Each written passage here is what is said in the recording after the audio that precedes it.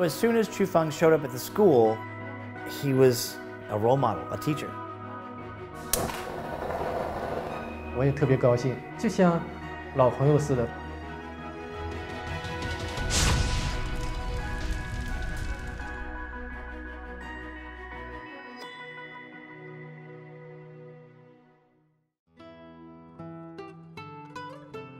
I arrived to the school at the end of August of 1996. I was thrilled. I mean, here I was, 23 years old, in the countryside of China. All of a sudden, I was surrounded by uh, fields of rice paddies and, and mountains and rivers. That's when I met Qu Feng. 啊，第一印象，当时他呃留着一个胡子，我第一印象我就觉得他像那个《西游记》里那个沙僧。Uh, 我们又特别谈得来。I was kind of a card at the time, and he was a, a, a jokey fellow, and so we hit it off uh, immediately. I could tell that we could at least be friends while I was in China. Little did I know that it would extend till today.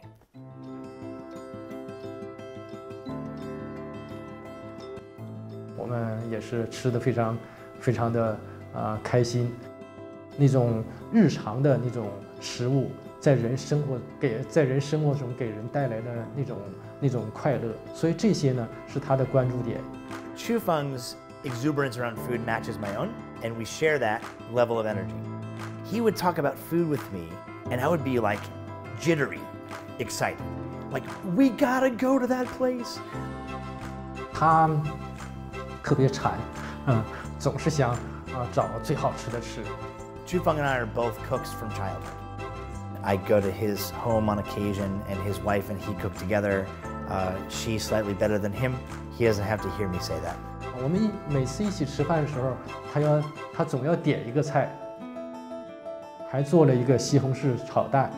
We had had this scrambled egg and tomato dish that blew my mind.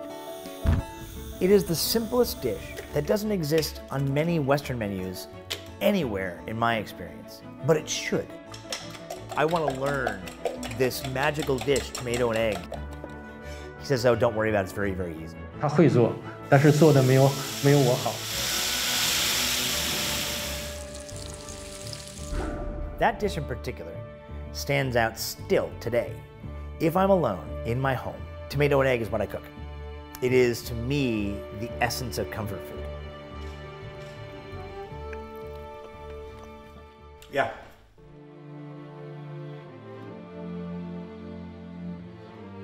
Qu Feng gifted me this Mongolian hunting knife. It was deeply meaningful in a number of ways.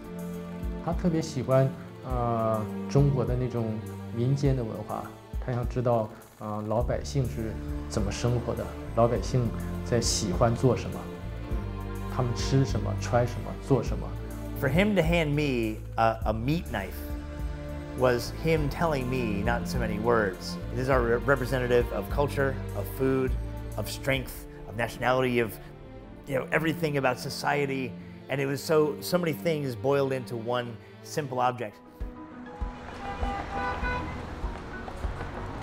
In 2012, he had a conference at the Smithsonian here in DC. We stayed here for 10 days and we made food together nightly it was complicated on a Saturday night where we had a dozen friends over and, and we cooked together a, a 20 course banquet or something like this.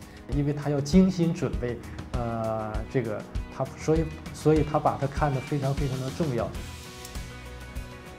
He's like, well, we have to make your favorite tomato and egg. Well, of course, well, we have to make baozi because that's street food. You know, we have to make that.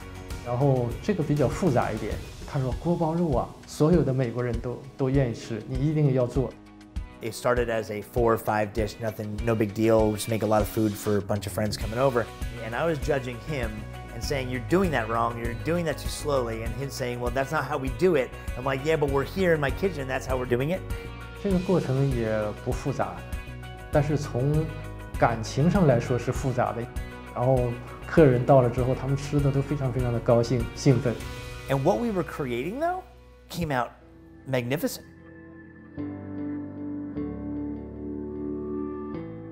但是我们的交往呢，又非常非常的有意义。